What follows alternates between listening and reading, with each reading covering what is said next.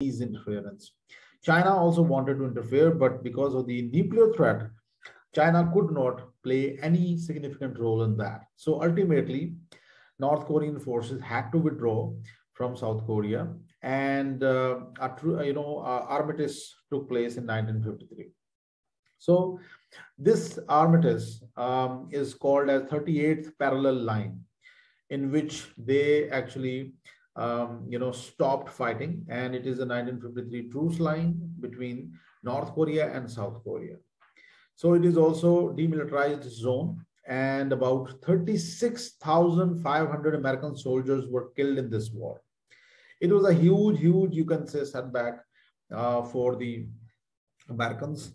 But at the same time, it also brought, uh, you know, a positive image of the America on the forefront.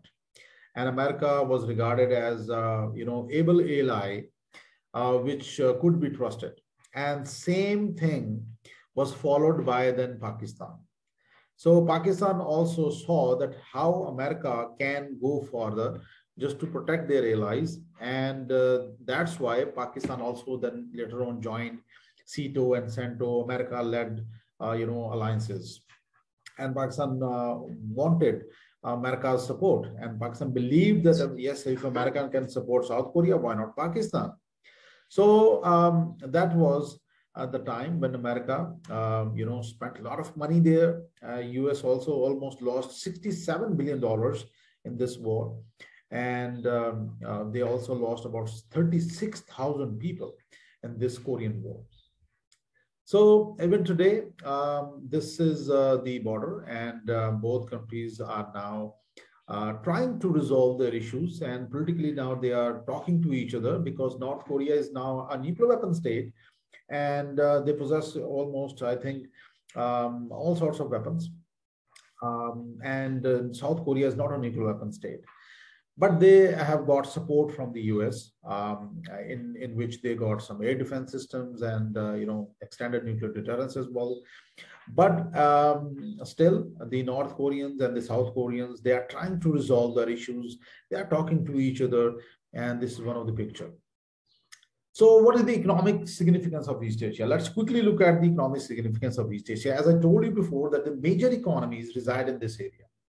So uh, that's why you can see that uh, like uh, for example china is one of the leading economy in the world second largest economy in terms of gdp and japanese they are the fourth largest economy and then you got many other economies. So if we quickly look at the chinese economy they are more than 3 trillion dollars now and their economic growth is also uh, great.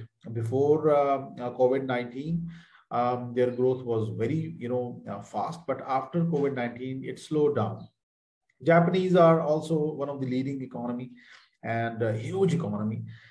They are well connected with the US and the European countries. So that's why their economy is also uh, very good. South Koreans are also trillion dollar economy, $1.5 trillion economy, and they are also growing.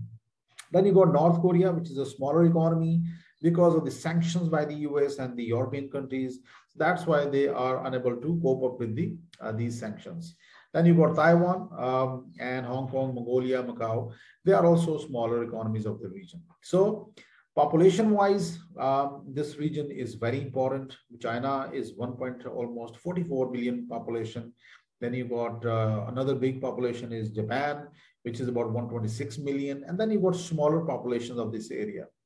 But these are two countries, like for example, China and Japan, they are the major, you can say, population. And then you got 51 million population of South Korea as well. So these are the leading economies because of their manpower, skilled labor force, and that's why they are actually leading the world right now in the economic forefront. And uh, this is the reason that they are, uh, you know, dominant in these areas.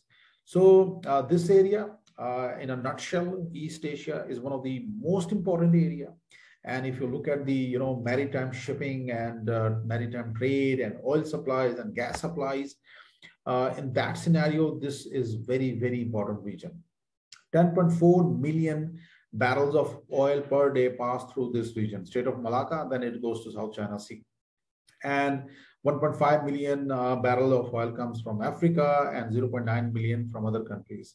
But predominantly, uh, most of the supplies, uh, oil and gas supplies, it comes from the Persian Gulf. And uh, it then heads towards South Korea, Japan, and China, and other countries. So, predominantly, uh, this region is very important when it comes to the oil and gas supplies, when it comes to the maritime traffic, maritime trade, huge cargo ships, you know.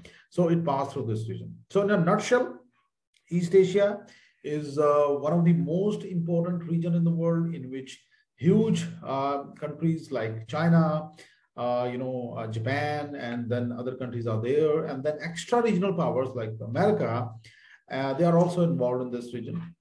And over the issue of South China Sea, they are, um, you know, in competition with the Chinese.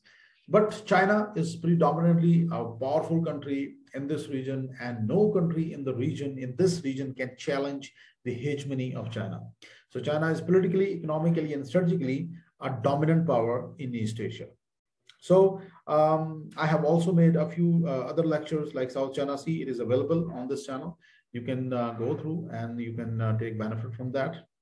And you'll find other other lectures as well, US-Japan competition, US-China uh, strategy competition in the region. So specifically, those um, uh, you know um, uh, areas covered in other other lectures. So predominantly East Asia. This was all about East Asia. Now, if you got any question, you can ask now, please. Thank you.